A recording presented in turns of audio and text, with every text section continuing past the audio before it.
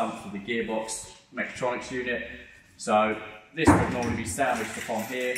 Um, all this does is store up your hydraulic mechatronics unit oil um, and allows it not to go anywhere. Um, also gone to here, this is your main block. Um, inside here you do have a filter.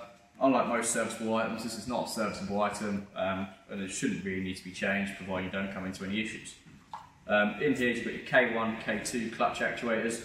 Effectively what these do is ping out to engage the clutch. Um, obviously you've got two clutches in the DSG box, you've got K1, K2, um, and obviously they fire out depending on which gear you want to be in.